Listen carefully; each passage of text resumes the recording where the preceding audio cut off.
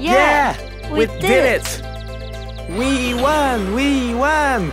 I can't believe we are the champions in this year's poster exhibition. Yeah, we are invited to write about this in the students' e-newspaper. For that, I think we can make use of an infographic to make it more eye-catching and easy to understand. Great idea. I know there are lots of infographic tools with free templates.